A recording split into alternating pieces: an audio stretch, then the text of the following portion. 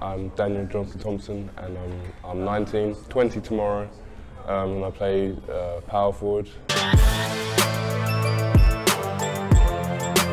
Um, just my build really, like I've always been quite tall and athletic, so my parents always told me that I could play basketball. When I was younger, it was, it was either Michael Jordan or Derrick Rose. My dad likes the Chicago Bulls, so I, I'll get my degree and then if a BBL team wants to pick me up, then I'll be happy to play play professional basketball. But if not, then I'll just continue what I've been studying